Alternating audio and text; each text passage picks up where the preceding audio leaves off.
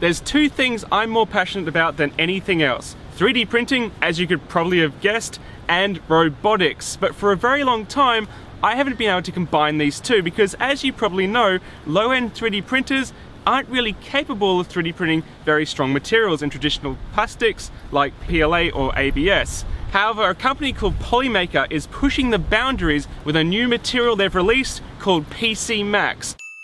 So I got in touch with them and I thought, okay, what's a great way to test your new filament? Well, by 3D printing an off-road robotics platform. Let's see how it performs, shall we?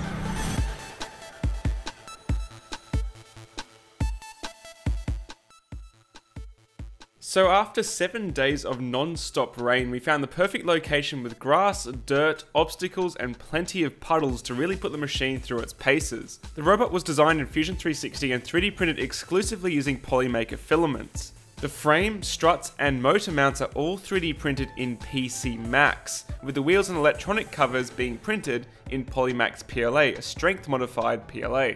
Even the tyres of the robot are 3D printed using Polyflex. It uses four cordless drill gear motors for tons of torque and runs BotBitz 30 amp speed controllers and has room for enough lithium polymer batteries to run for over an hour if needed. The robot also has suspension using a prototype nylon filament from Polymaker allowing it to bounce over obstacles with ease.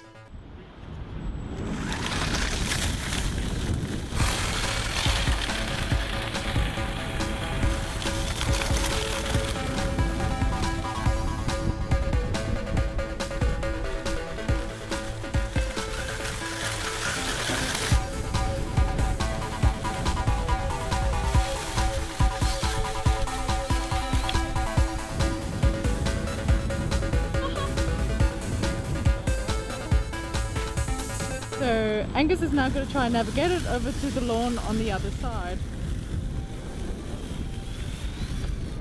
Oh, I guess I'm going to find out. Let's annoy those birds.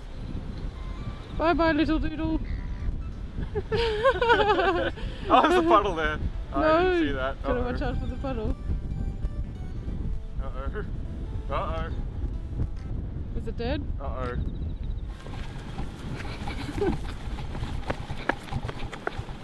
oh, it's okay. I just went out of range. Oh, that's good. Otherwise, it looks okay.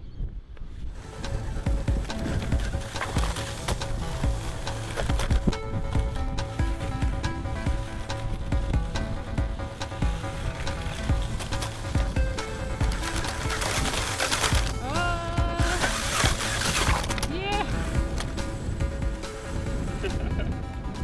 So I am absolutely blown away guys by how well this material performed. So as I said before, the mounts, the struts and everything are printed in PC Max polycarbonate plastic and there is nothing wrong with it. I drove this off edges, I drove it through the dirt, I drove it through puddles and it's intact. So the only thing I would probably change is these little mounts that are a bit too floppy in that new nylon, but I'll do some modifications to this platform and I'm going to make this whole robotics platform open source and online where you can download STL files and print one yourself if you so choose. So a massive thanks to Polymaker for teaming up with me here in Makers Muse and helping me make this platform a reality. And if you haven't subscribed to Makers Muse and you're interested in 3D printing tips, tricks, and reviews, maybe hit that subscribe button to see future content here. I look forward to seeing you again very shortly. Happy printing, guys. Bye. The latter half of the 20th century. And man has sent rockets into deep space. He has placed satellites into orbit. He has actually walked in space.